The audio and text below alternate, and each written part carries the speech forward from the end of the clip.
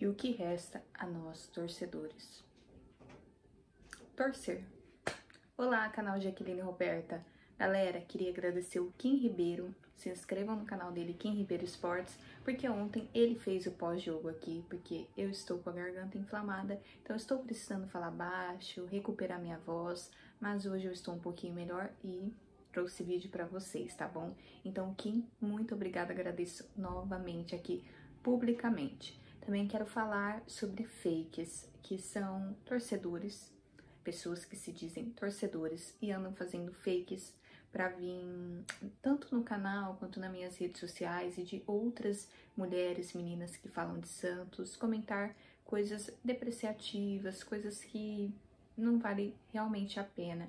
Eu sei que o momento é difícil, que tem muito torcedor triste, é, cada um reage de um jeito com esse momento, mas descontar sua raiva fazendo um fake, mandando mensagens aí para outro torcedor não vai ajudar em nada. Então, nós vamos torcer, ver sim as coisas que estão erradas no Santos é, e tentar fazer com que a união, que a energia positiva chegue até lá. Bom, já tinha galera jogando sal grosso na Vila Belmiro hoje, sábado de carnaval. E se você comemora carnaval, bastante juízo, tá bom? Amanhã, então, domingão, 4 horas da tarde, transmissão Premier e Paulistão Play, aqui no YouTube de Olho no Peixe, coração para coração, torcedor para torcedor. É um jogo muito importante para Quantos vídeos eu venho falar que é um jogo muito importante para o Santos, hein? Mais um jogo muito importante para o Santos, dessa vez contra a Portuguesa. O Santos com 10 pontos, né? Porque o empate veio ali suando contra o Santo André no grupo A, quarto lugar do grupo A, e a portuguesa no grupo D com seis pontos. Então é um jogo que não tem, não tem outra resposta para o torcedor a não ser a vitória.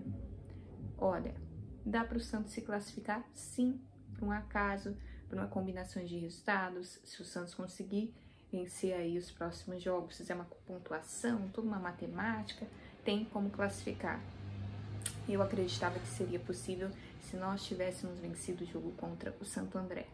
Como isso não aconteceu, eu acho muito, muito difícil agora. Pode acontecer uma obra do destino? Pode. Mas o time não inspira confiança e o técnico não inspira confiança. Bom, vocês podem arrumar vários culpados para o momento do Santos e tem vários culpados. Não é a responsabilidade de uma pessoa, é uma pirâmide, é um círculo vicioso que chegou no momento de ser uma pirâmide, que tem um problema lá em cima, que vai descendo, vai descendo e acaba contaminando o Santos Futebol Clube. Isso não é segredo para ninguém. Mas como eu já falei em milhares de vídeos, tanto aqui quanto no De Olho no Peixe, nada tira da cabecinha da Jaqueline Roberta que o Oder sim, tem muita culpa.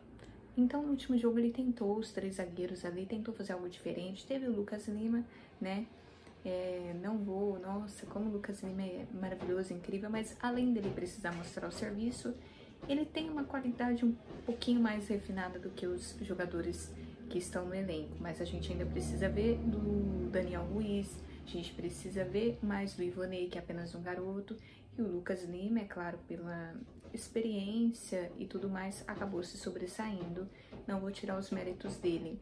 Então, se ele puder ajudar de alguma forma, que ajude. O Rodrigo Fernandes treinou normalmente, então provavelmente esteja à disposição. O Felipe Jonathan estava voltando de uma lesão, né? Eu acho que ele só voltaria nesse jogo de domingo, mas teve que voltar no jogo de quinta porque não tinha quem. João Lucas e Lucas Pires voltam, o Sandro já tinha voltado, Zanuceiro e Carvajal ainda se cuidam no DM ali, o Alisson não pode jogar nessa etapa do Paulistão, o Santos vislumbra, creio eu que vislumbra mais contratações, porque do jeito que tá, não vai dar para ficar, né? E a gente tem estreia na Copa do Brasil semana que vem, mas agora, vamos, vamos parar por agora. Jogo na Vila contra a Portuguesa e o técnico Der Helma tem que tirar um coelho da cartola. Tem que trabalhar mais ainda do que ele já tem trabalhado. E eu acho que muito mais importante, tem que mexer com o brilho desses atletas, desse grupo. E esses caras precisam ser cobrados. O que vai ser resolvido lá dentro do vestiário? O que vai falar para essa galera para ter esse upgrade? Eu não sei. Mas resolva. O pepino literalmente está na sua mão. E no momento, nós só queremos uma resposta em campo, uma vitória, três pontos para o Santista. Dá um respiro de. Não vamos lutar contra, né? Então, é difícil a gente esperar saber como o Santos vai se comportar, como vai jogar a questão tática. Eu acho que ele vai abolir os três zagueiros, vai voltar no esquema normal dele.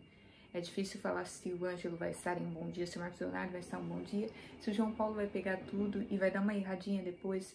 É muito difícil, mas algo vai precisar acontecer. E eu acredito que uma conversa, um olhar, um olho no olho, uma coisa franca, possa resolver momentaneamente isso para esses últimos jogos que restam do Paulista.